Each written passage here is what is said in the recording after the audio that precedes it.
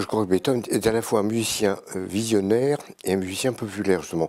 Il, a deux, il y a vraiment deux grands pans dans sa production.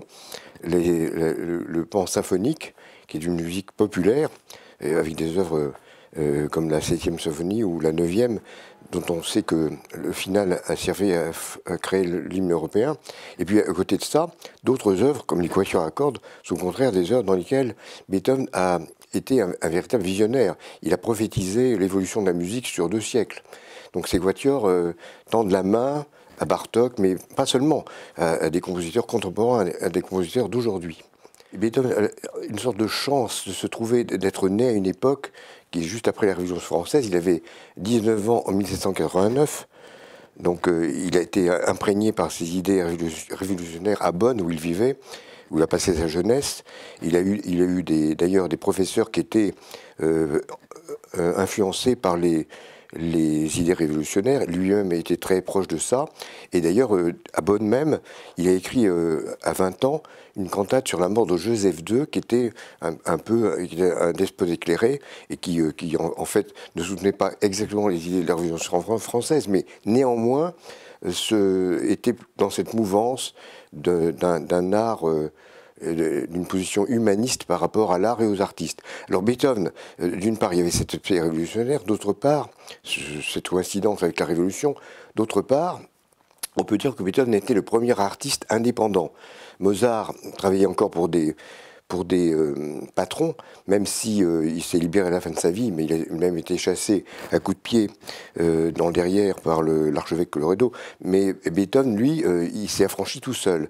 Quand il est arrivé à Vienne, il a, il, a pris des contacts avec les, les, grands mécènes viennois, qu'il a séduit parce que c'était un, un, improvisateur de génie, et donc dans ses, il était invité dans les salons, et cette, cette cette qualité qu'il avait lui a permis d'entrer en contact avec les plus grands aristocrates viennois qui l'ont soutenu. Et donc il, a été libre parce qu'il a été capable de s'imposer avec sa forte personnalité et son talent. Je crois que Beethoven a influencé toute sa postérité non seulement le 19e, mais le 20e. Alors, euh, à tel point que Brahms disait euh, J'entends ces pas de géant derrière moi. Donc, ça le traumatisait. Il a, il, a, attendu 40 ans pour composer sa première symphonie, tellement l'image des symphonies de Beethoven était terrifiante pour les compositeurs. Mais cela dit, terrifié ou pas, ils se sont quand même beaucoup inspirés des modèles beethoveniens. Alors justement, on, divise généralement le, le, style de Beethoven en trois manières. La première manière, qui est une manière classique, influencé par Mozart et Haydn, mais où il y a déjà un souffle beethovenien tout à fait perceptible et très original. La deuxième manière, qui est une manière un style héroïque qui va justement introduire le, euh, euh, qui fait faire entrer la musique dans l'air romantique.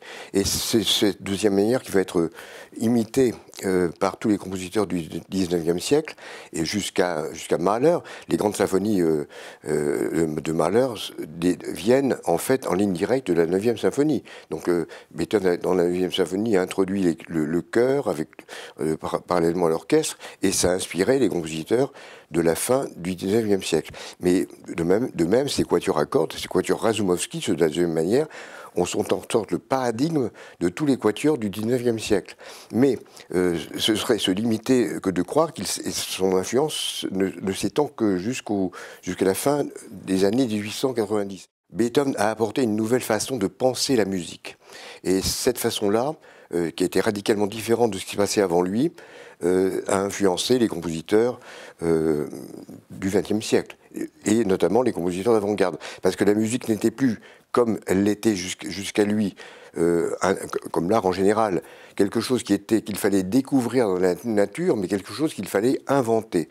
Donc on est passé d'une notion de l'artiste découvreur à l'artiste inventeur. Et c'est en même temps c'est l'option du jeu dans, dans la musique et particulièrement dans l'art, mais particulièrement dans la musique. Donc l'affirmation d'un jeu, et, qui est une, très, très curieux dans le cas de Beethoven, parce que ce, jeu, ce n'est pas, pas encore un jeu romantique très subjectif, c'est un jeu qui reste universalisant. C'est-à-dire que Beethoven dit jeu, mais il parle pour autrui, néanmoins. Donc il reste toujours dans une sorte de dualité entre le moi et le tous, et le nous tous. Il parle pour nous.